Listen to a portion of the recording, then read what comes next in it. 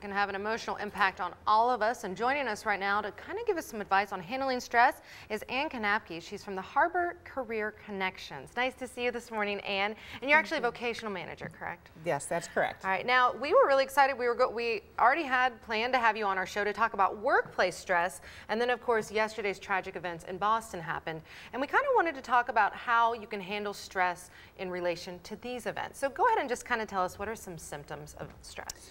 Well, symptoms of stress can relate to physical, actual physical mm -hmm. uh, problems with um, stomach problems. Um, uh, I get know, a knot. I get a knot in my back. Right. You know the neck yeah. uh, stress. Um, um, you know, it, it's just you, stomach problems, mm -hmm. having a hard time sleeping.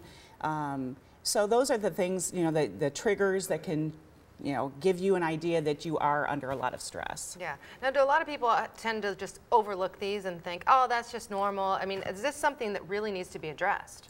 Yeah, ultimately it does. When you're, you know, you're having a hard time going to sleep at night, mm -hmm. or you are able to go to sleep at night, but then you're awake at three o'clock in the morning and right. you can't go back to sleep.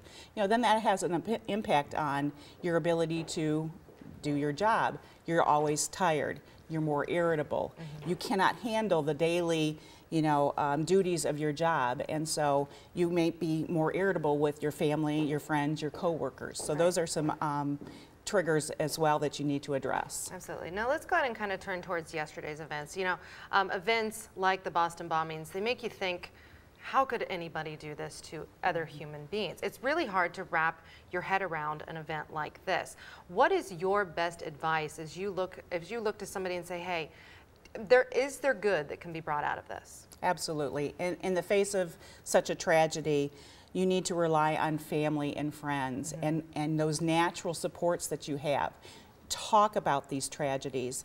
And yes, terrible things do happen to good people. Um, you get together, you come together.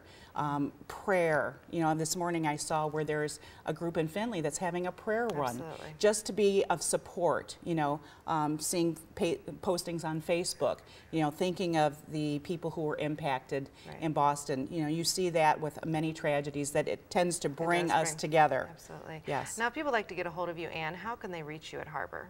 Well, um, they can call the, I'm at the Secor location. Okay. Um, you know, the phone number 419-479-3233. Right, and so we're always available to be of support, you know, because things like this, we need to come together and support each other. Absolutely. Well said. We certainly appreciate you being here this morning. Thank and, you. and again, thank you very much for your time. Great You're advice. welcome. Thank you.